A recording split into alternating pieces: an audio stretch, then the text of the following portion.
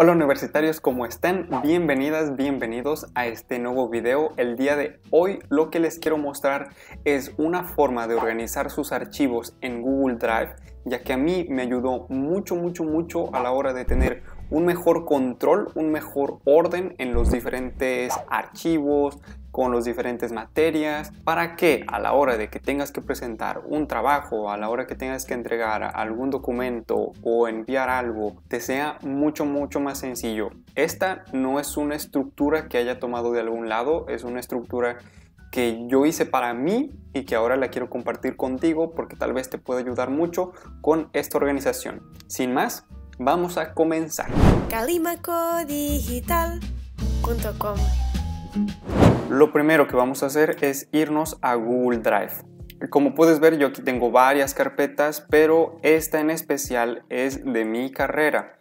Yo creé una carrera, yo creé una carrera, yo creé una carpeta específica para mi carrera. Tú lo que puedes hacer es crear una carpeta también exclusiva para tu carrera. Solo una carpeta y vas a meter tus tareas, tus lecturas, todo va en esa carpeta. Si entramos, vemos que está dividido por semestres. Cada semestre está en cada carpeta. Yo además tengo otras carpetas que es el servicio social porque en mi carrera yo tuve que hacer una especie de estadio en una institución, entonces eso lo puse como una materia aparte y la tesis también la puse como una materia aparte. Y aquí tengo que es mi mapa curricular. Son las materias que yo veo en toda la carrera y estos son algunos archivos que considero muy importantes que tienen que ver con la ética profesional, entonces yo los tengo aquí como tres archivos fundamentales para mí y lo demás son semestres, desde el primer semestre hasta el noveno semestre. Vamos a seguir profundizando en las carpetas. Por ejemplo, vamos a ver qué tengo en una carpeta. En esta carpeta yo lo dividí por las materias que llevé en ese semestre. Fundamentos, fundamentos de la organización, cada una de estas carpetas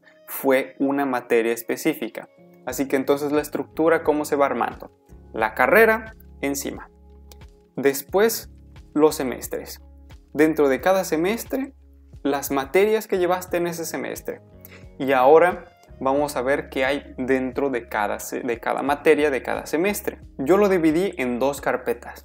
La primera carpeta son las lecturas todo el material bibliográfico, hemerográfico, lo guardé en esa carpeta específica de lecturas. Y las tareas es la carpeta de las tareas. Ahí puse todos los trabajos que yo hice en ese semestre y de esta manera a mí me sirve a tener un mejor control. Imaginemos que yo en el séptimo semestre me acuerdo que yo hice un trabajo en el tercer semestre que está muy relacionado con lo que yo estoy haciendo ahora. Y este ejemplo lo puse porque yo propio hice un trabajo en el octavo semestre hablando sobre derechos de autor y en el segundo semestre hice un trabajo sobre derechos de autor que si no hubiese tenido ese trabajo habría sido empezar de nuevo. Empezar de nuevo el mismo tema. Y lo puedes olvidar, te puedes olvidar de que tienes el tema por ahí, así que consejo, ponle palabras clave o ponle algún título a tu documento para que después lo puedas recuperar. Fabián del pasado tiene mucha razón, pero el Fabián del presente, que para ti ya va a ser del pasado, porque ya va a ser, bueno, eh, sí, ponle títulos, ponle palabras clave a tus documentos y te va a salvar de muchos apuros. Sigamos con el video. Si fuese solamente que estuviera todo revuelto en una sola carpeta, tendría mucho, mucha dificultad en saber dónde, dónde está el archivo. Entonces, de esta manera, a mí me permite tener un mejor control y saber que dentro de cada carpeta se encuentra lo que yo trabajé en esa materia específica. Si vamos dentro de las lecturas, vemos que aquí están los libros y los artículos que yo utilicé para hacer mis tareas. Y dentro de las tareas, vemos que aquí tengo los documentos que yo usé. Por ejemplo, esta fue una tarea que me acuerdo muy bien que la hice. Ahora vamos a ver si cambió alguna cosa de la organización del primer semestre al noveno semestre. Sigue siendo exactamente lo mismo y dentro de cada materia tengo lecturas y tengo trabajos. En vez de ponerle tareas, le puse trabajos y dentro de lecturas, por ejemplo, tengo estas de aquí y dentro de trabajos tengo las tareas que yo realicé y aquí tengo una carpeta también que se llama documentos que se van a enviar a Elba. Ah, ok, son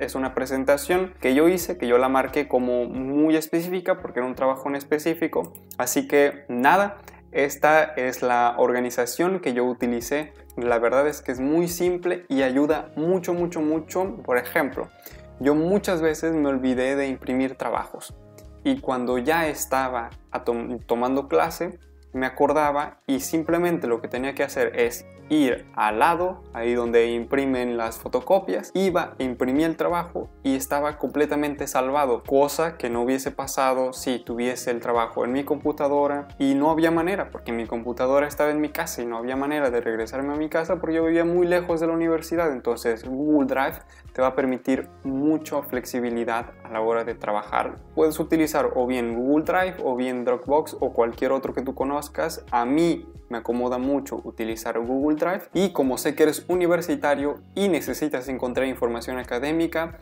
te dejo unos videitos por aquí que te pueden ser de mucha utilidad. Muchas gracias por ver este video. Te dejo por aquí mi Instagram también donde comparto un montón de recursos académicos y nos vemos en un próximo video. Chao.